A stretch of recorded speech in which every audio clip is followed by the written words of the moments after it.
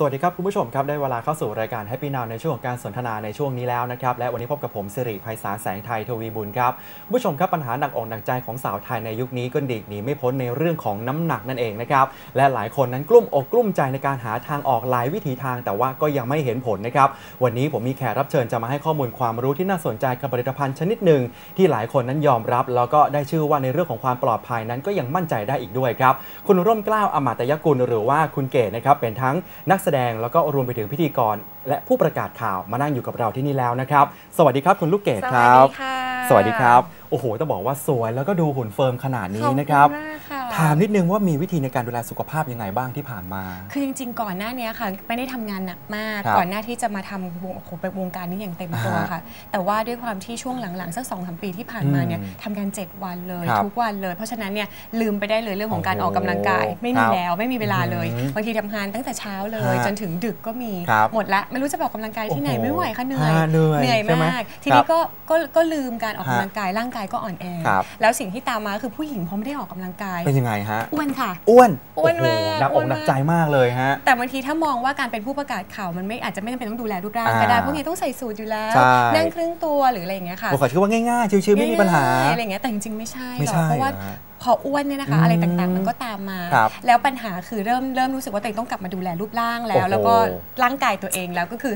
แต่งตัวฮะ costume หาเสื้อผ้ามาให้จากฮะไซส์ S ค่ะครับกลายเป็นไซส์ M หรืออะไร size M เหรอใส่ฮะไม่ได้ คือน้ำหนักต้องเพิ่มขึ้นต่อเนื่อง ใช่ค่ะคือฮะขึ้นต่อเนื่องเพราะว่าเป็นคนทานเก่งอ๋อมากแล้วตอนนั้นเวลาเรามีการมอนิเตอร์น้ำหนักตัวเราไหมว่าอยู่ยังไงระดับเท่าไหร่ยังไงฮะคือไม่ได้แบบว่าซีเรียสถึงขนาดว่าเฮ้ยต้องน้ำหนัก 50อ่านะต้อง 55เป๊ะเป๊ะ40 ไม่แต่รู้สึกฮะว่าเราจะรู้สึกมีส่วนเกินอ๋อเช่นมึงนั่งนานๆครับนะคะก็มีหน้าท้องมีฮะอะไรตามปกติอะค่ะ ผู้หญิงก็จะมีคือรู้สึกได้ รู้สึกได้ฮะใส่เสื้อผ้ารู้สึกไม่สวยครับและสิ่งสำคัญคือมันจะอึดอัดโอ้โหแล้วเวลาใส่เสื้อผ้าเขาไม่ได้เนี่ยอ่าเราเนี่ยแหละหน่อยอืมแล้วก็ทำให้เขาเดือดร้อนฮะเขาบอกไม่เป็นไรเดี๋ยวเขาหาไซส์ใหญ่มาให้ครับแล้วก็บอกว่าไม่เป็นไรค่ะครับเอางี้ดีกว่า อะเดี๋ยวไปลดน้ำหนักเอง อ่าเพื่อที่จะใส่เสื้อผ้าของเธอให้ได้ ครับ เขาก็แน่นะอะโอเคตกลงกันตามรับนั้นปากเลยเรียบร้อย แต่กลับไปบ้านค่ะนอนครับไก่หน้าผากตายแล้วเป็นยังไงฮะทำไงดีอะไม่เพราะว่าได้นะเพราะว่ามันมันยากเหมือนกันนะคะ ยากเพราะว่าหนึ่งทำงานเนี่ยครับ เวลาทำงานมากๆ สิ่งที่ตามมาคือหิว โอ้โห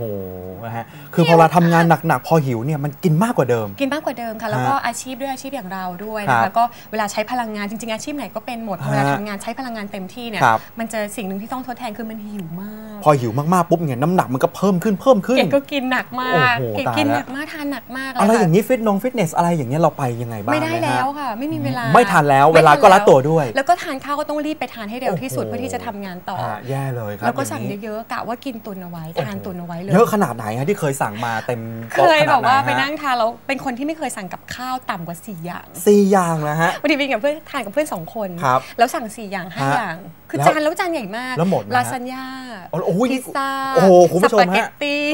นี่ตัวเร่งไขมันนั่นเลยนะฮะเนี่ยเก็บไม่ได้สั่งสลัดนะคะฮะเก็บสั่งแบบนี้เลยเพราะมีความโอ้โหรู้สึกว่ามันจะน่าจะอยู่กับเราได้นานอ๋อแล้วก็เรามีพลัง เพราะต้องทำงานตลอดเวลาด้วยใช่ฮะปรากฏว่าก็เป็นไขมันสะสม นี่คือสิ่งที่ตามมาใช่ค่ะอื้อหือแต่ทีนี้ให้ลดเนี่ยครับการการที่เราจะห้ามเงี้ยคุณแม่ก็ห้ามไม่ได้ใครครัก็บห้ามไม่ได้เพื่อนฮะก็ไม่ห้ามด้วคยรับก็ช่วยกันทานฮะก็เลยทำยังไงดีนะ จะลดน้ำหนักได้ก็เลยอ๋อคิดถึงแบบ ต้องหาอะไรสักอย่างต้องไปหาคุณหมอหรือว่าต้องไปร้านอืมขายยาละครับเลยตัดสินใจไปร้านขายยาก่อนฮะเพราะว่ารู้สึกว่าถ้าเราไปร้านขายยาเนี่ยมันปลอดภัย ครับปลอดภัยแน่ๆกับครับสุขภาพของเรา เพราะว่าถ้าลดน้ำหนักเนี่ยมันมีปัจจัยฮะเสี่ยงต่างๆ เยอะแยะ โอ้ที่เราได้ทราบข่าวใช่ใช่ไหมคะก็เลยไปเสร็จเภสัชก็แนะนำครับโอ้โหวางยาเป็นตับเลยค่ะอะ พี่ค่ะวางเยอะแยะต็มากโต๊มายเลย เก๋ก็โอ๊ยตายละ เอาอันไหนก่อนดีอะ ถามจริง ๆ กลัวไหมเห็นยาวางยาลดความกลัว อ้วนต่างๆนานาเยอะขนาดนั้น กลัวมากกลัวมากเพราะว่ามันมีข่าวเยอะที่ทานแล้วก็แบบเสียชีวิตบ้างไม่เสียชีวิตบ้างอะไรอย่างเงี้ยฮะค่ะแล้วก็มีผลข้างเคียง ก็เลยตัดสินใจทำยังไงดีนะ ครับก็เลยต้องเลือกเพราะว่าฮะถ้าเกิดถามเขาเนี่ยเขาก็คงเลือกให้เราไม่ได้ครับหรอกเขาก็แนะนำได้เฉยฮะๆก็ตัดสินใจ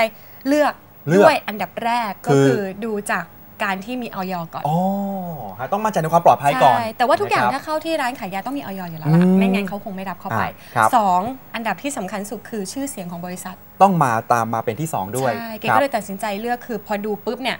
โดดออกมาเลย นั่นก็คือ Biopharmอ๋อของ Biopharm ใช่นะฮะถ้าเราทราบกันดีคือ Biopharm เนี่ยเขาจะมีความเชี่ยวชาญเกี่ยวกับคเรื่อรังของการผลิตยาอยู่แล้วอ่าใช่และที่สำคัญเนี่ยคุณภาพเขาเนี่ยส่งออกไปทั่วโลกอ๋อโดยเฉพาะยุโรปด้วยครับซึ่งจะทราบกันดีว่ายุโรปเนี่ยรับยาอืมยากมาก เรื่องของมาตรฐานความปลอดภัยของทางยุโรปทาง EU เนี่ยเขาสูงมาก ที่สุดในโลกเลยนะฮะเพราะฉะนั้นเนี่ยทาง Biopharm ก็ส่งไปแล้วครับเพราะฉะนั้นเนี่ยเรามั่นใจว่า Biopharm เนี่ยปลอดภัยกับเราฮะแน่นอน ก็เลยตัดสินใจอะงั้นลองเอาหยิบขึ้นมาดูอ๋อแล้วมาดูที่ส่วนผสมฮะทีนี้พอดูที่ส่วนผสมเนี่ยเราก็ไม่ทราบเพราะว่าด้วยอืมด้วยคุณสมบัติของส่วนผสมเนี่ยเราไม่ได้เป็นหมอหรือเรียนทางด้านนี้มา ครับก็เลยถามเขาครับเขาบอกว่าตัวนี้เนี่ยที่สำคัญจริงๆเนี่ยก็คือมีในเรื่องของการ burn burn ก็คือเผาผลาญฮะไขมันต่างๆเผาผลาญยังไงครัเผาผลาญคือเขาจะมีตัว L-Carnitine อ๋อตัวนี้จะไปช่วย ใช่ค่ะ ช่วยเผาผลาญต่างๆฮะ ร่างกายต่างๆ แล้วก็จะมีครับส่วนผสมจากพริกด้วย อ๋อชาเขียวด้วยครับนะคะแต่ว่าต้องบอกก่อนว่า L-Carnitine เนี่ยอืมถ้าเกิดสมมุติว่าเรา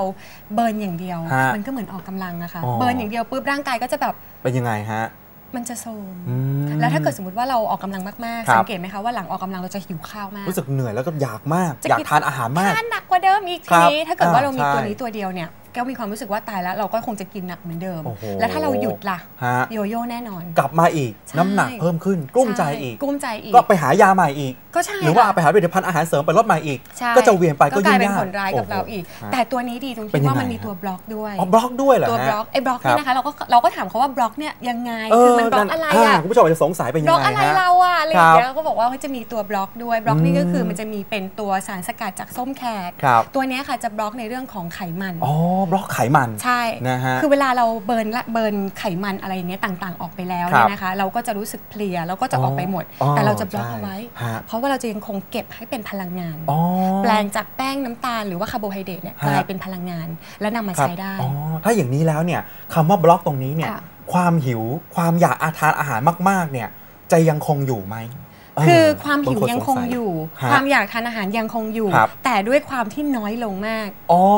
นี่คือบล็อกบ ล็อกเอาบล็อกไว้ ไว้ คือเขาทำให้เรารู้สึกหิวข้าวได้น้อยลงด้วยไม่อย่างนั้นถ้าเกิดไม่ทานเลยเนี่ยสุขภาพโทรมแย่เลย โทรมมากค่ะ อ๋อเหมือนคนลดน้ำหนักแล้วดื่มน้ำอย่างเดียว ฮะก็แย่แล้วผลครับที่ได้รับตามมาคือจะเหี่ยว อ๋อ ผู้หญิงนี่เหี่ยวไม่ได้อย่าพูดคำว่าเหี่ยวหอ่ยาบกายมากโอ้โหนะคะ ทำร้ายจิตใจ แต่นอกเหนือจากนั้นที่สำคัญของตัวสารสกัดจากส้มครับแขกเนี่ยค่ะคือเขาช่วยในเรื่องของระบบขับถ่ายด้วย อืมเขาบอกว่าจริงๆ ถ้าต่อครับให้เราแบบเอ่อ ไม่มีไขมันหรืออาเบิร์นอะไรต่างๆ ก็ครับตาม แต่ถ้าเราขับถ่ายไม่เป็นปกคติรับหรือว่าเราถ่ายไม่ได้ครับหรือว่าท้องผูกครับเราจะตัวบวมนะโอ้คะโหแย่เลยมันนะก็ฮะอยังย่างนี้ตามมาก็ยังอีไม่ผอมอยู่ดีฮะแต่ที่เขาจะทำไปปรับสมดุลในร่างกาคยรับและทำให้เราขับถ่ายได้ฮะปกติฮะโดยที่ไม่ได้ปวดท้องเหมือนยาถ่ายอะไรอย่างนี้นะคะอ๋อคือเหมือนเราอยากถ่ายปกคติรับบังฮะคับให้เรารู้สึกอยากจะถ่ายอืมเอาของเสียออกไปนั่นก็ฮะคือการจับไขมันส่วนเก่าด้วคยรับให้ออกไปอ๋อแล้วก็ในส่วนที่มัน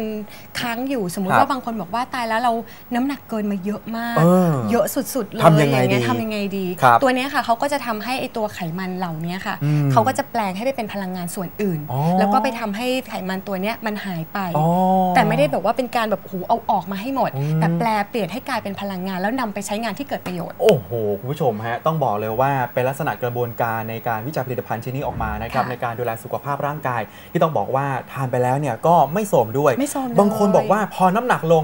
กลัวเลยฮะกลัวผิวเป็นเปลือกส้มทำยังไงดีฮะ ตัวนี้ไม่เป็นแน่นอนฮะค่ะ เพเพราะราะว่าว่าในตัวนี้มีส่วนผสมของโคเอนไซม์ Q10 อ๋อซึ่งเราจะทราบกันดีดีเลยว่าเจ้าโคเอนไซม์ Q10 เนี่ยปกติแล้วเนี่ยฮะผู้หญิงอายุสัก30 ขึ้นไปเนี่ยครับก็จะเริ่มเอามาใช้เป็นฮะเวชสำอางและอ๋อมาใช้ทาหน้าครับแต่ตัวเนี้ยค่ะเอาส่วนที่สำคัญหรือว่าส่วนที่ดีที่สุดสกัดครับแล้วก็ทำให้ตัวตรงเนี้ยค่ะทำให้เราแบบ สวยอยู่อืมมันก็จะทำให้ในเซลล์ต่างฮะๆก็ทำงานให้ดีด้วย แสดงว่าหลังจากทานผลิตภัณฑ์ไปแล้วเนี่ยร่างกายไม่สู้ผอมไม่สู้ผอมดูแล้วไม่โสมไม่โทรม